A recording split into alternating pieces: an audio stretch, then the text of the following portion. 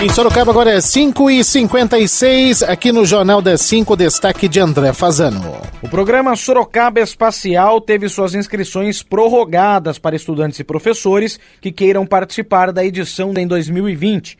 E para falar sobre este assunto, estamos na ponta da linha com a professora Verônica Trevisoli, ela que é uma das criadoras deste projeto. Professora, muito obrigado mais uma vez por atender o jornalismo da Cruzeiro FM. Eu que agradeço, André, você e toda a sua equipe. Em primeiro lugar, professor, eu gostaria que você lembrasse o que é exatamente esse programa Sorocaba Espacial, né? Então, o programa Sorocaba Espacial é uma oportunidade é, que a gente está dando para alunos de escolas públicas e particulares, desde o Fundamental 2 até o ensino universitário, de ter a oportunidade de mandar algum experimento para o espaço. Então, o que, que vai acontecer no dia 13 do 12, 13 de dezembro. Nós vamos lançar um balão atmosférico com alguns experimentos até a estratosfera. Esse balão deve atingir uma altura de 30 mil metros, né? E depois ele estoura, cai e a gente recupera essa carga útil e a partir dos dados e das informações que os alunos pretendem estudar, eles conseguem fazer aí a pesquisa deles. E como surgiu a ideia de criar o programa Sorocaba Espacial e também os objetivos que ele tem? Então, o ano passado, eu, junto com o professor César, nós fizemos o lançamento de um balão com, com experimentos de escola, de uma escola pública que a gente é, orientou os alunos, né? E como foi bem legal, os alunos estavam super engajados e super empolgados com essa ideia, nós pensamos, por que não oportunizar os, os demais alunos? Então surgiu aí, e a nossa intenção é realizar isso anualmente. E os objetivos são, né, mostrar para o aluno que a ciência está mais próximo dele do que ele imagina.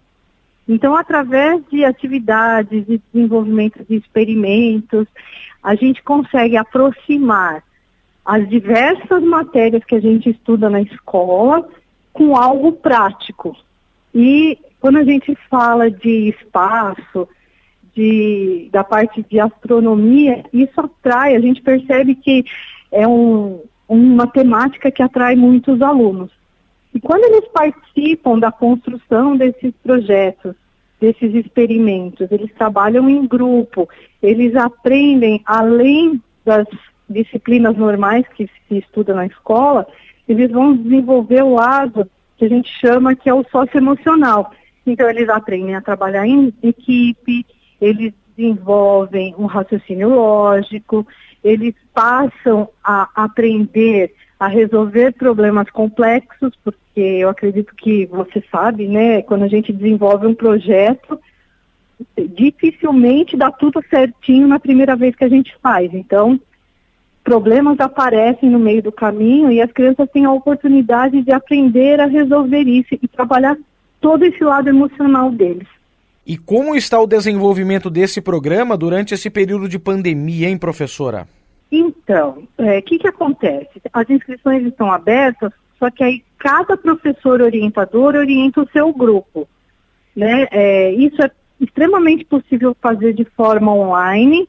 Eu e o professor César, nós não estamos orientando ninguém, porque geraria um conflito de interesses aí.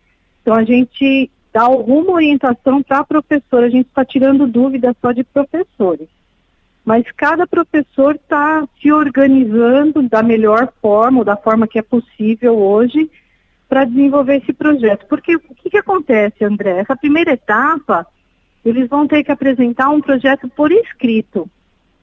Né? E a partir do momento que eles apresentarem esse projeto por escrito, quando acabar as inscrições, esses projetos vão passar por um comitê avaliador né, composto inclusive de um engenheiro do INPE, de professor da, é, professor da UFSCar aqui de Sorocaba, é, pessoal do IAV. Então, eles vão analisar os projetos e vão decidir quais cinco terão a oportunidade de ser lançado esse ano com a gente. Aí sim começa o desenvolvimento propriamente do experimento físico. Não, aí o pessoal tem, a, tem um prazo até dezembro para entregar, entregar isso para nós, né? Quem foi selecionado, quem desenvolveu o projeto, eles têm até dezembro para concluir a parte física do projeto deles.